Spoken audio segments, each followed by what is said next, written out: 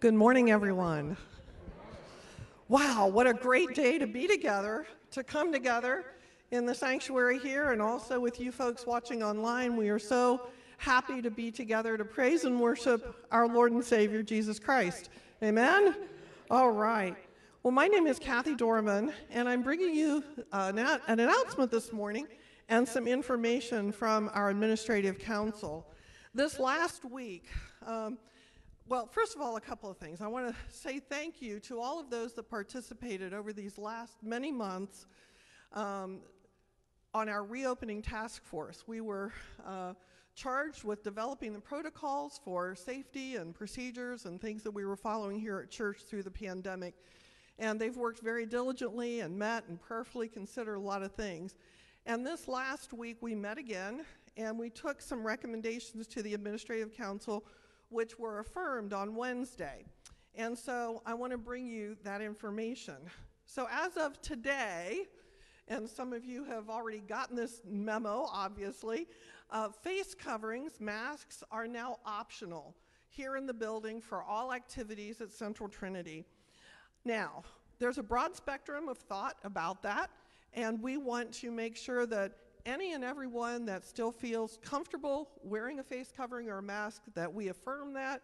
We, we love y'all no matter what, mask, no mask, but that, uh, you know, we will, that is the, the protocol right now is that masks are optional. So if you want, if you'd like to wear a mask into the building and come into your seat in the sanctuary and take your mask off, that's fine. If you want to keep it on, that's fine. Uh, so we will honor and understand whatever your decisions are regarding that. Then a couple of other things coming. We've set just a couple of dates, milestones that we're going to be looking at. Starting on Sunday, June the 6th, the sanctuary is going to come back to a more pre pandemic look. The blue bands on the seating will be gone, the pew Bibles and the hymnals will be back in the, in the pews.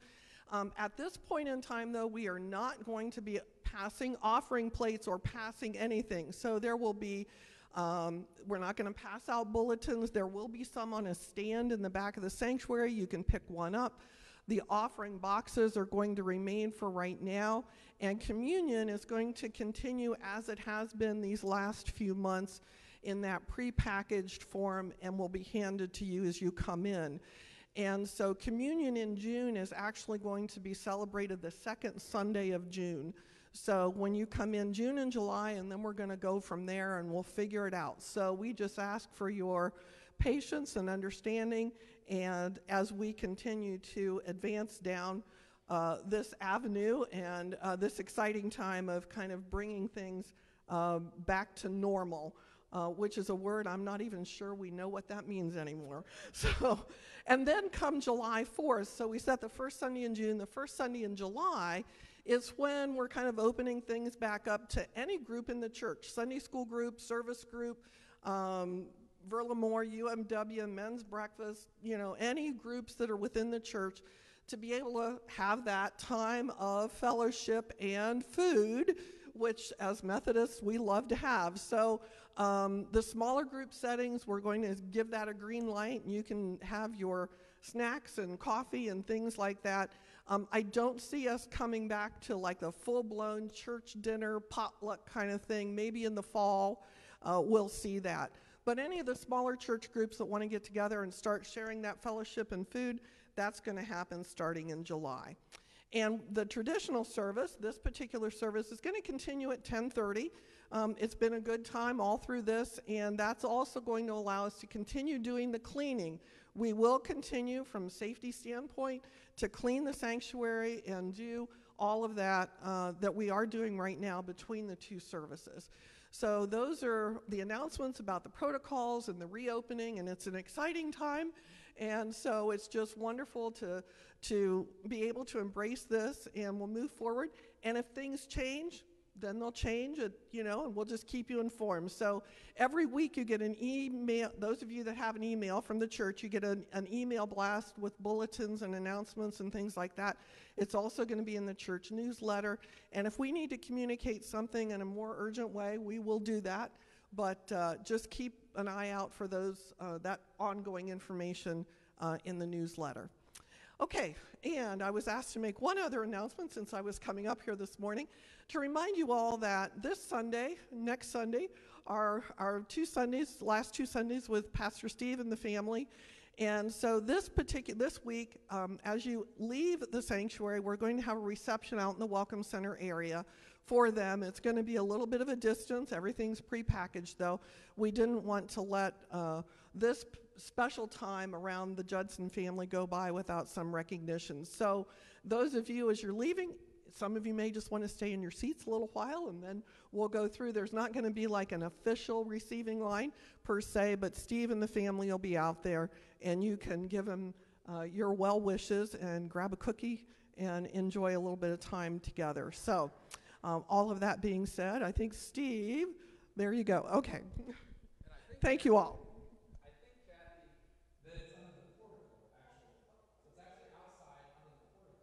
the kind of gathering and fellowship, and we'll be kind of wandering around, so there won't be a formal greeting receiving, but we'll just be, our family will be present.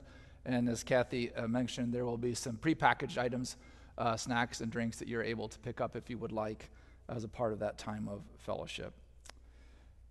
I also want to share a quick announcement about Eastside Community Ministries, which is a, a, a, a parachurch, faith based organization many of you are familiar with, just about a block and a half from CT. Over the last uh, couple of years, we've begun a, a really neat relationship, uh, kind of uh, looking toward a, more of a partnership with uh, Eastside uh, in the coming years. We had been working toward that, and the pandemic kind of set things back for a little while. Um, but uh, we had something in the Connect recently about opportunities to volunteer. They also are having, over the summer, July 19th and 20th, they're having a girls' camp, an overnight, and 21st and 22nd, a boys' camp. And so, if there's anyone that might feel led to be a part of that, uh, and it could be just uh, an hour or something where you might give some help, uh, Desi Craig is their youth director. Uh, and you can call the office. I'll be here over the next week. Uh, and then Desi is over at Eastside. We've been working with both Desi and Jamie Trout, the executive director over at Eastside, uh, and very excited about future possibilities. Uh, they are also saying, and maybe there's someone that'd like to learn a little bit more about Eastside before they get any further than that and they'd like to come in when we have a dinner or a breakfast over one of these two gatherings, these uh, overnight camps as well, and that might be a possibility. But we'll, you'll hear more about that in coming months, about that uh, relationship and about opportunities to serve. They have about 30 or 40 uh, youth and children and their families that they're connected to in our community. And so uh, it's just been neat to see how that um, has, has continued to sort of blossom a little bit. Well, uh, with that, I would invite us to a moment of prayer as we open our time of worship together. Uh, dear Lord and our God, we are so grateful for this beautiful day. Uh, Lord, we are thankful for the opportunity to be together. Uh, and Lord, uh, for those who are watching online also to be together with us. Uh, Lord, we pray your blessing upon this time. May your Holy Spirit rest upon it and upon each of us. Lord, may it be a wonderful opportunity for, our, for us to experience gratitude to you, and Lord, to receive your presence and be encouraged and inspired by it. Lord, we ask your blessing on this time. We pray that it would be pleasing to you and an inspiration to us. And it's in Jesus' name that we pray. Amen.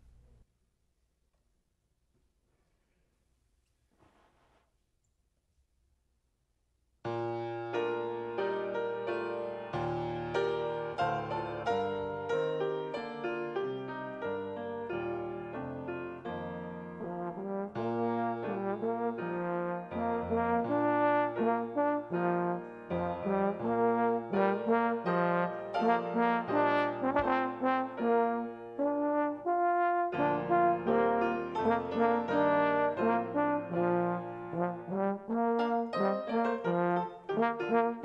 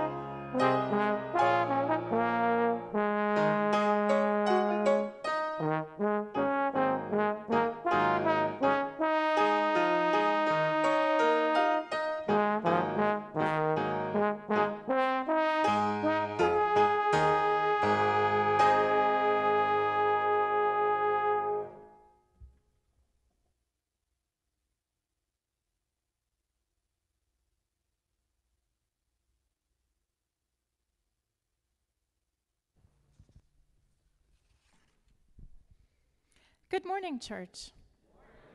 Our opening hymn this morning can be found on page 600 Wonderful Words of Life. We will sing verses 1, 2, and 3. Would you please stand and join me?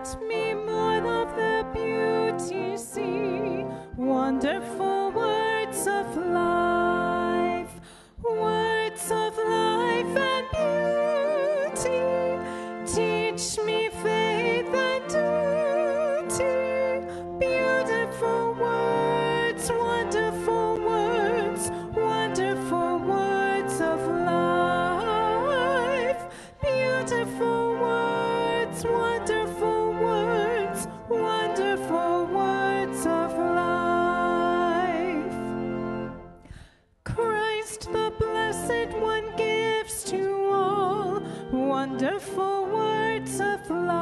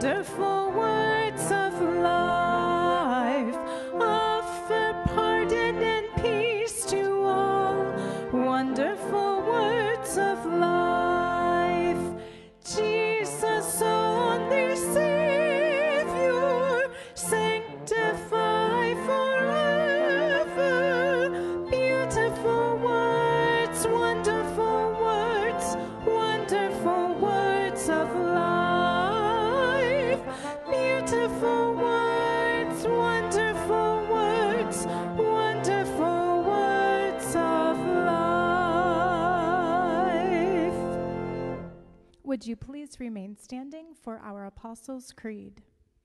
I believe in God the Father Almighty, maker of heaven and earth, and in Jesus Christ, his only Son, our Lord, who was conceived by the Holy Spirit born of the Virgin Mary, suffered under Pontius Pilate, was crucified, dead, and buried. The third day he rose from the dead. He ascended into heaven and sitteth at the right hand of God the Father Almighty. From thence he shall come to judge the quick and the dead. I believe in the Holy Spirit, the holy Catholic Church, the communion of saints, the forgiveness of sins, the resurrection of the body, and the life everlasting. Amen.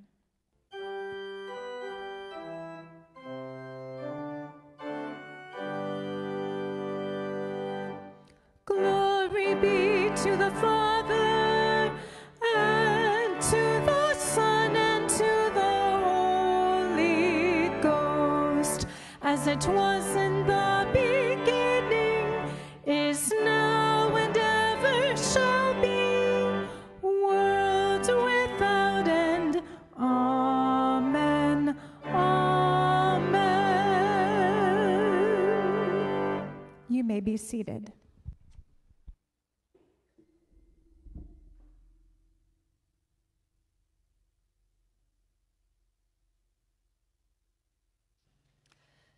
Good morning. This morning is Pentecost. It's the day in the church calendar that we remember when Jesus sent his Holy Spirit to give power to the new believers, to give them that power to shine his light out into the world and to live their lives fully the way he intended. And that power, that's still available to us today. That Holy Spirit, that same Holy Spirit is available to us as believers. So this morning, I brought a flashlight to help us understand how important the Holy Spirit is to us. What do you think will happen if I push this button on the back of the flashlight? It'll turn on, right? It's not working. Why do you think it isn't working? Let's check. You're right. It's empty inside. There are no batteries inside. Do you think it's important for a flashlight to have batteries inside? Of course, right? The batteries give it the power it needs to shine its light. Now, batteries, even though they're not a living person like the Holy Spirit, batteries remind me of the Holy Spirit because just like batteries would help this flashlight have power to shine its light, the Holy Spirit gives us as believers the power to shine Jesus' light out into the world.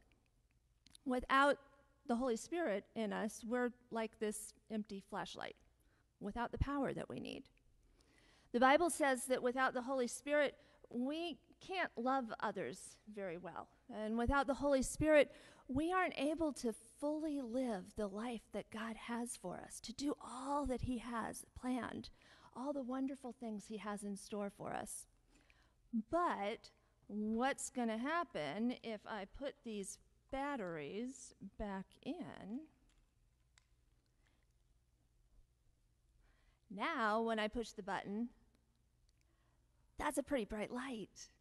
Now the flashlight can shine its light out into the world, and that's what we want for ourselves.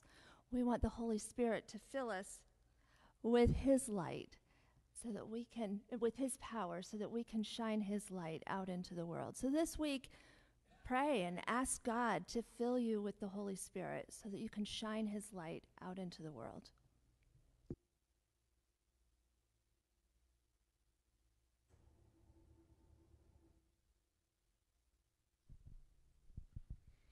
Our prayer hymn this morning can be found on page 420. Breathe on me, breath of God. We will sing verses 1 and 3.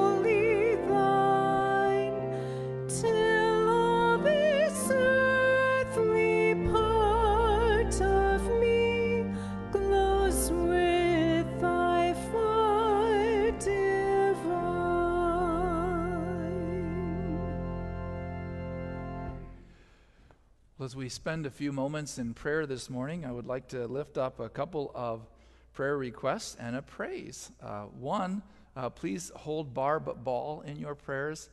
Uh, she had uh, uh, went to a regular doctor's appointment this week, and, and her heart was out of rhythm and AFib. So they are working to try to get that back into rhythm. So please hold Barb in your prayers. Um, and then also, um, Sandy McCutcheon last weekend was in the hospital. So please hold uh, Sandy McCutcheon in your prayers, her ongoing kind of treatments and, and battle with the uh, blood cancer. Uh, and then uh, a, a, joy, Amanda and Bryce Cooper had, uh, Amanda had a C section Friday, and a new little one came into the world. So, uh, and girl, right? I thought that it was girl. It would be really bad to say the wrong gender.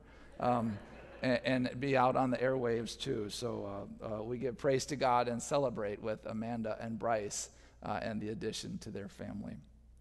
Well, as we go into a time of prayer, uh, this is a time where we can spend in God's presence uh, however we feel led, lifting up prayers, lifting up praise and gratitude to God. And then I will lift up a corporate prayer on our behalf and invite us into the Lord's Prayer. So please be encouraged to take this time to just spend in the presence of God. May we pray.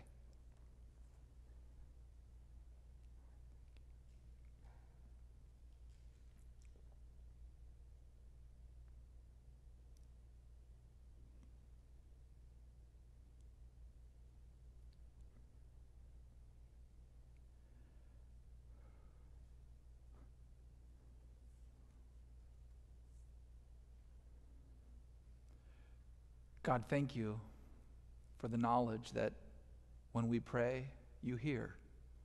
When we enter into your presence, even, uh, Lord, quietly, you are with us. Uh, and Lord, when we lift up our praise to you, our gratitude, you rejoice. Um, God, hear the prayers that have been placed before you, even uh, by all of us here individually. God, hear also uh, these prayers and praise corporately we lift up Barb uh, Ball for your care. We commend also Sandy McCutcheon to your care. In both cases, God, asking for healing, for wholeness, and for peace. God, we thank you and give you praise for Amanda and Bryce Cooper's uh, new little girl and joining uh, uh, a son to make this family now of four. We give you thanks and praise and pray your blessing upon uh, this family and upon this wonderful, blessed uh, little addition to it. God, we lift all that is on our hearts, minds, and spirits to you, knowing that you are able to work far more powerfully, far more abundantly, uh, Lord, than anyone, anything, any, uh, uh, anywhere. You uh, can provide, and you love us, and we're grateful for that. Be with us as we move through this time of transition in upcoming weeks. We pray, Lord, Lord, that your hand would continue to be on this place and the light that we seek to shine through the power of the Holy Spirit to our community and world. Lord, may we, uh, Lord, uh, use the legacy of this church to launch us into the future, but God, looking ahead to how you will continue to work as we follow you. And Lord, we thank you in these moments and where we kind of almost feel you a little more present when we come to you together in prayer. We lift up this prayer, uh, Lord, that you taught your earliest followers to pray, and we now join together to do so also. May we pray. Our Father, who art in heaven, hallowed be thy name. Thy kingdom come, thy will be done, on earth as it is in heaven. Give us this day our daily bread, and forgive us our trespasses, as we forgive those who trespass against us. And lead us not into temptation, but deliver us from evil. For thine is the kingdom, and the power, and the glory forever. Amen.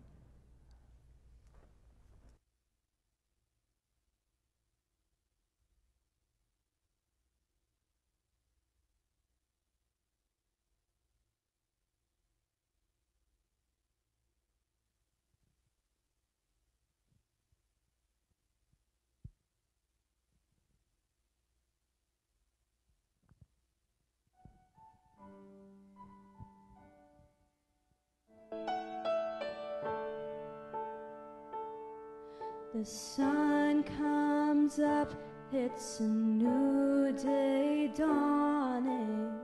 It's time to sing your song again. Whatever may pass and whatever lies before me. Let me be singing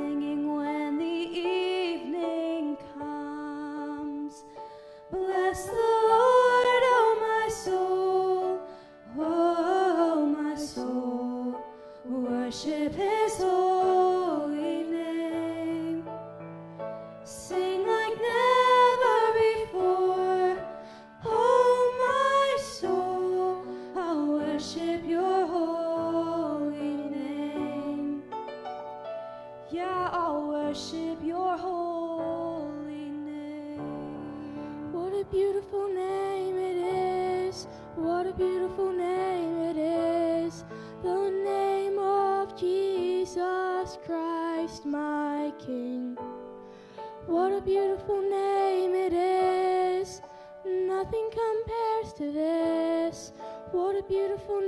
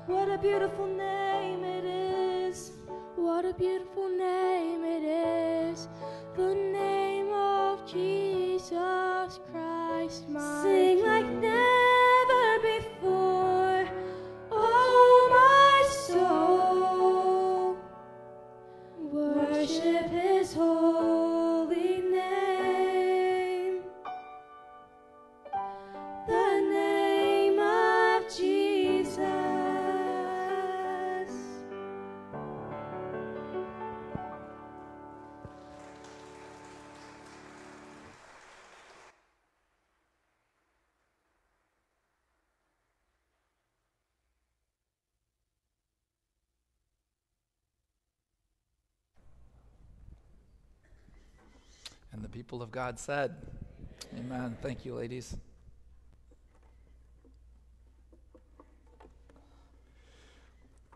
Well, this is Pentecost Sunday.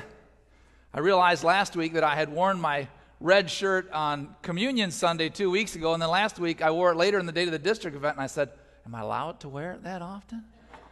Well, what are you going to put a purple shirt on? on, on uh, now, those of you who have a purple shirt, you look wonderful. Um, I'm talking about as the pastor, okay? Shouldn't have said in color, should I? Um, and, and it is, uh, it is uh, Pentecost Sunday, uh, and uh, I'm going to be sharing the story of Pentecost and then sharing from that as the basis of my message. So, uh, Acts chapter 2 and verses 1 through 21, uh, my Bible titles it The Holy Spirit Comes at Pentecost. Hear this from the Word of God. When the day of Pentecost came, they were all together in one place. And suddenly, a sound like the blowing, the rushing of a violent and mighty wind came from heaven and filled the whole house where they were sitting. And they saw what seemed to be like tongues of fire that separated and came down to rest on each of them. All of them were filled with the Holy Spirit and began to speak in other tongues as the Spirit enabled them. Now there were staying in Jerusalem God fearing Jews from every nation under heaven.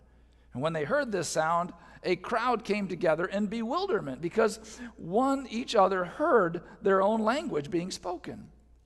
Utterly amazed, they asked, Aren't these all, all Galileans who are speaking? How is it that each of us hears it in our own language? Parthians, Medes, and Elamites, residents of Mesopotamia, Judea and Cappadocia, Pontus and Asia, Phrygia and Pamphylia, Egypt and the parts of Libya near Cyrene, visitors from Rome, both Jews and converts to Judaism, Cretans and Arabs, we hear them declaring the wonder of God in our own tongues. Amazed and perplexed, they ask one another, What does this mean? Some, however, made fun of them and said, Ah, oh, they've had too much wine. and then Peter stood up with the eleven, raised his voice, and addressed the crowd. Fellow Jews, and all of you who live in Jerusalem, let me explain this to you. Listen carefully to what I say. These people are not drunk, as you suppose. It's only nine in the morning.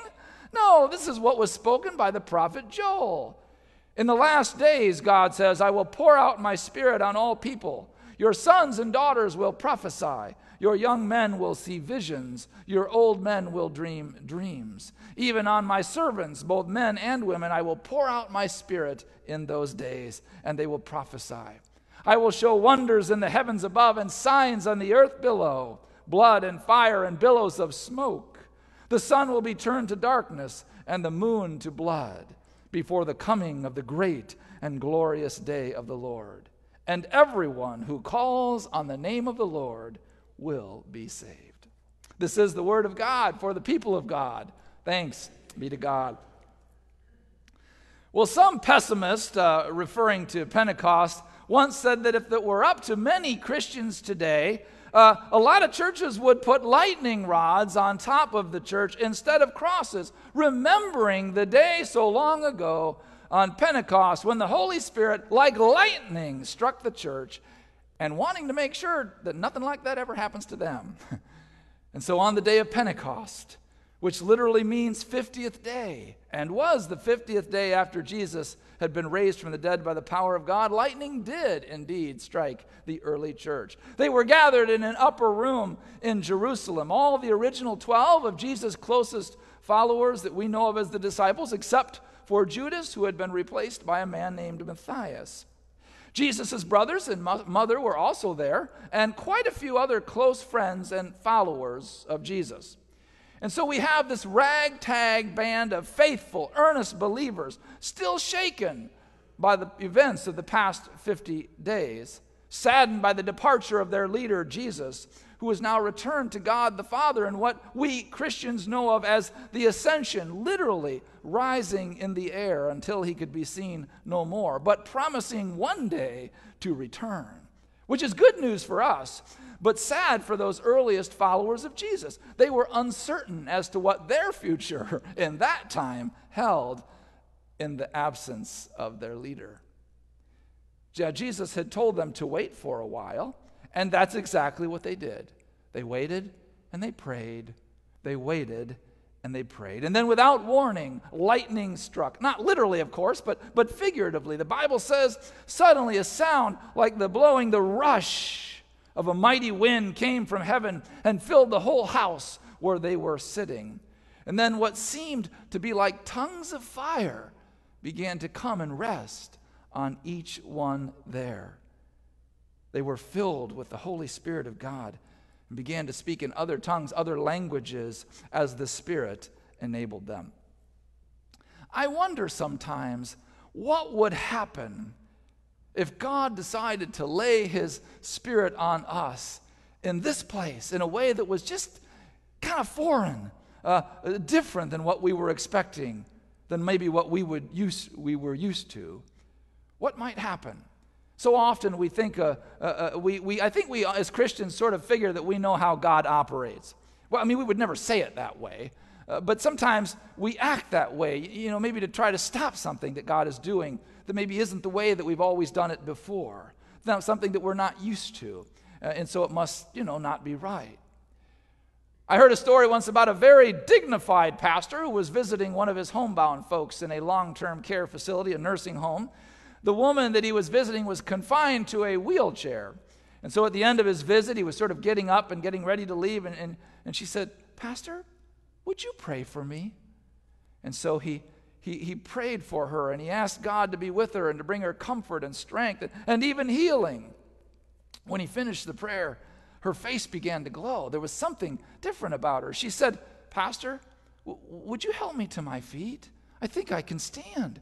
Not knowing what else to do, he, he helped her up. At first, she took a few uncertain steps, but then she began to kind of jump a little and, and skip a little bit. And then she began to even dance a little bit and to shout and cry with happiness, amazed at what God had just done in her body until the whole nursing home was sort of filled with excitement and amazement. Well, after she calmed down, this very solemn pastor hurried out to the car, quickly closed the door, grabbed hold of the steering wheel, and prayed this little prayer Lord, don't you ever do that to me again. and whether we want to admit it or not, we so often expect so little out of God. And sometimes, even out of fear or, or just resistance, we might even push back when God is working in some amazing and wonderful way that is just maybe not what we're used to. What if the Holy Spirit, God's Spirit, like lightning, began to strike in really wonderful ways in our lives and in our church? Well, I think He already has. But what if we began to see things a little that uh, you know a little differently than what we're used to, or maybe something that stretched our imagination a little bit of the way that we think that God operates? Would we be willing to trust Him in the midst of it? Or might we resist it a little bit if it pushes us beyond where we're comfortable? A couple of years or so ago, I shared a message on, I won't ask you the main points, uh, on three signs of uh, a vital, vibrant, life giving, community impacting church. And there were three signs that I said. And one of them was that it was powered by the Holy Spirit. And then the other, uh, the second one was its trademark was love, or is love. And then the third one is its message is Jesus Christ. And I want to talk a little bit about that first point uh, that I had in that message a few years ago what it looks like to be powered by the Holy Spirit, what it looks like for a great work of God, the, the Holy Spirit of God. Uh, and it could be in an individual's life, in the life of a church, or maybe a workplace or, or community. And, and I think we could probably come up with a few, with, with a few but I'm, I've got three that I think are absolutely evident and a sign of a great work of the Holy Spirit of God, a great work of God. And I'm going to give them to you and then come back and talk about them one by one. And, and, and I'm going to just title them Presence, Power, and Vision. Presence, Power, and Vision. And the first characteristic of a great work of God, the Holy Spirit, is his presence among us. Let's look again at verses 1 through 4 of this passage. It says, When the day of Pentecost came, they were all together in one place. And suddenly a sound like the blowing the rush. I mean, I almost think of like a storm that's kind of came through that place, filled the whole house where they were sitting. And they saw what seemed to be like tongues of fire that sort of separated and were uh, resting upon each of them. All of them were filled with the Holy Spirit, the Bible says, and began to speak in other tongues, other languages, as the Spirit enabled them. And you heard the rest of the story then that the people began to hear the message of Christ in their own language miraculously through what God had done. And this is all because the presence of God's Spirit came upon them. The Holy Spirit came upon them in a powerful um, and, and, and mighty and, and even miraculous, even supernatural way. You see, God can't do a whole lot through us if the Spirit isn't present in us. When, when Jesus ascended prior to, to Pentecost, when he went back to heaven to be with God the Father, the followers felt like sheep without a shepherd. They felt like followers without a leader. Now, Jesus had told them not to worry. He had said that I'm going to send you a, a counselor, an advocate, a helper to be with you forever. But that helper came like a bolt of lightning, like a mighty wind, like tongues of fire on that day of Pentecost. You see, the Holy Spirit is Christ's presence, God's presence in the heart of his followers. Well, even the people of ancient Israel were commanded to carry fire with them as they traveled with Moses to the promised land. And you may remember that the, the cloud that led them by night was bright like fire. We still use fire to symbolize the presence of the Holy Spirit of God. Uh, the, uh, the, the candles that we light uh, before worship are symbolic of the presence, the Holy Spirit, uh, in this place with us. Uh, even the symbol of the United Methodist Church, the cross and flame, the flame represents the Holy Spirit, the presence of the Holy Spirit. And so these tongues of fire that the Bible says rested upon each of the believers on the day of Pentecost, really, as, as Kiffin alluded to a little bit ago, was that same fire. And that same fire is available for us and in our lives even today as followers of Christ. We are not alone. God is with us. God has given us too a counselor, a helper, an advocate. God has not left us hanging. God has not left us powerless. And if we receive that forgiveness for sin, which Jesus died on the cross to make possible and entered into a relationship with, with God, then we bear that flame, that same flame which rested upon the believers at the day of Pentecost uh, is within us as well. And so, in order to experience a great work of God, a great work of, of the Holy Spirit, it, it, the presence of God, the presence of the Spirit has to be a part of our lives. Well, the second character, everything sort of builds on that. So then the second characteristic of a great work of the Holy Spirit of God, in addition to his presence, is his power. Jesus, in his final instructions to his disciples, his closest followers, right before that ascension, right before he went back to be with God the Father uh, in, in, uh, in heaven, it says in Luke 24 and verse 49, Jesus told them to wait in Jerusalem, quote, until you have been clothed with power from on high. So, in other words, Jesus saying, something's going to come. You wait, and a power like you had never seen before is going to rest and be a part of you. And that power Jesus was referring to was the power of God's Holy Spirit, which really was what we often refer to as the beginning of the church, uh, uh, uh, the, the, the infilling of the Holy Spirit uh, for followers of Christ. And so on that day of Pentecost, the 50th day after Jesus was raised from the dead, and 10 days after the Bible tells us that he left earth to go back to be with God the Father, that power became evident. It was unleashed as Peter is preaching the message of Jesus. Well, it was unleashed to those in that room, but then it really begins to be unleashed. In verse 41 of Acts chapter 2, uh, Peter is preaching. He's talking about Jesus and what Jesus came to the world to make uh, possible. Uh, and and th- this, this forgiveness for sin. And, and like 3,000 people came to faith in Christ in one day. So, in this relatively brief period of history, this new burgeoning movement is spreading across the entire Roman Empire. And that was even in the midst of a whole bunch of persecution that was occurring as well uh, to those who had chosen Jesus, who had uh, recognized Jesus as their Lord and Savior. So power was promised and power was delivered. When the presence and power of the Holy Spirit is experienced, people walk with courage and confidence, not arrogance. I mean, we, are not talking, we're talking, also talking about humility and a, and a peaceable, peaceable spirit, so not arrogant, but courageous and confident, even in the midst of uncertainty. And it's in those times when we, as, as followers of Christ, as God's people, are reminded uh, that nothing is impossible for those who are being led by God. Nothing is impossible. Friends, everyone who enters into a relationship with God uh, by receiving the forgiveness for their sins that Jesus uh, died to make possible has the Spirit of God living in them. So it's not like you have half the Spirit or two thirds of the Spirit. You either have the Spirit or you don't.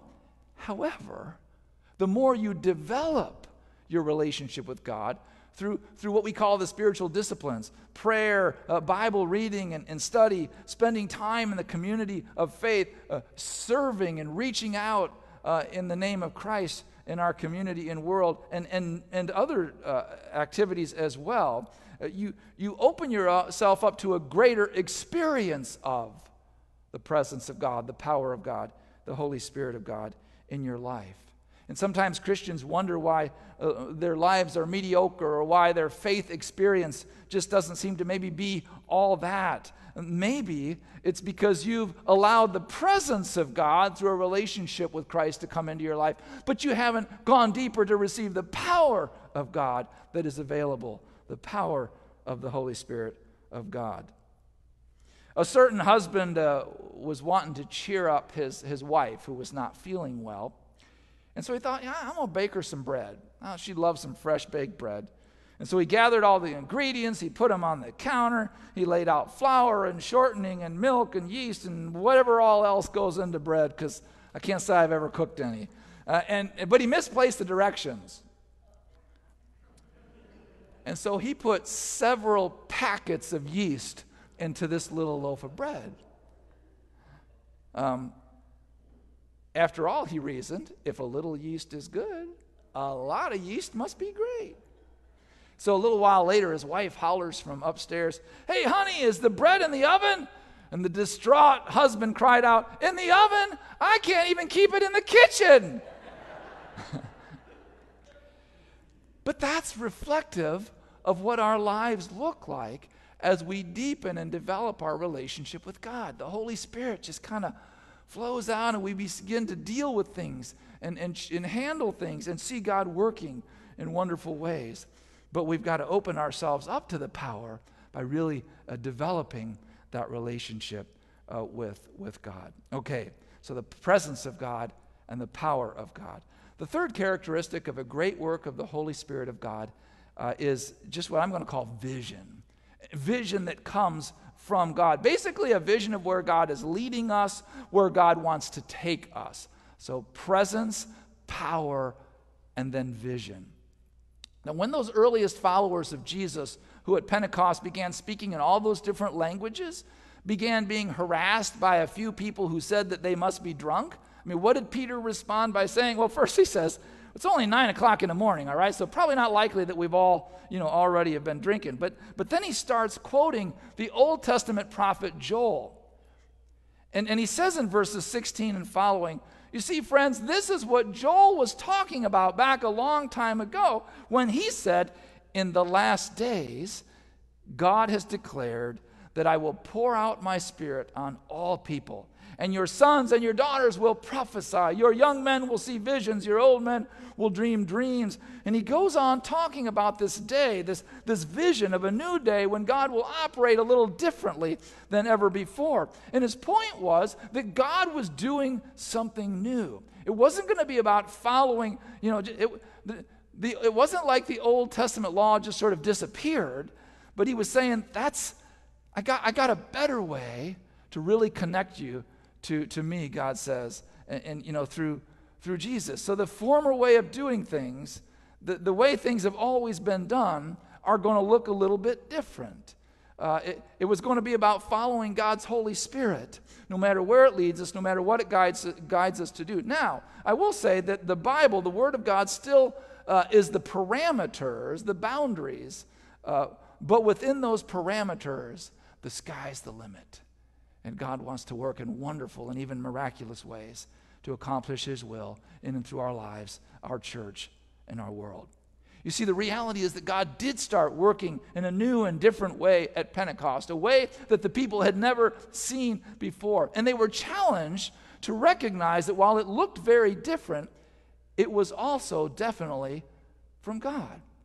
Now, that message could be applied many ways in, in our lives, certainly can be applied in many ways in our life together as the body of Christ, the church. But if we want to see the Holy Spirit, God's Spirit, to the greatest extent possible working in our lives, in our church, and in our world, we must be open to, we must desire, and even embrace the power, the presence, uh, and the vision of God's Holy Spirit. See, without all three of those presence, power, and vision, we will never experience the, what I would call the fullness of God's Holy Spirit as those early believers experienced it on the day of Pentecost. But be prepared. If you genuinely seek to develop the presence, the power, and seek God's vision in your lives, like a mighty violent wind. it may challenge you a little bit at times. It may move your dire- directions that are not necessarily what you have been accustomed to. It might be a little unsettling at times, maybe even a little scary. But it will also amaze you, it will bless you, it will allow you to accomplish great things from God, and you will grow stronger and stronger in your faith. So pray for it, desire it, expect it. And when it comes, receive it the presence, the power and the vision of the Holy Spirit of God. Let's pray. God, we are so grateful that when you sent your Holy Spirit, your presence, in a visible way at Pentecost into your people, those earliest followers of Christ, those earliest believers, Lord, we are grateful that that same outpouring of your presence, your power, and your vision is available to us today. God, may we seek to open ourselves up. I pray, Lord, that every single person in the sound of my voice has received that presence by receiving Jesus Christ into their lives as Lord and Savior. And I pray, God, that all of us are seeking to develop that power so that we might experience in, in all that we face in our lives. And God, to catch your vision for our lives, our, our church, our world, as we seek you fully. God, may that be our heartfelt desire. And by your grace, may you grant it. In Jesus' name, amen.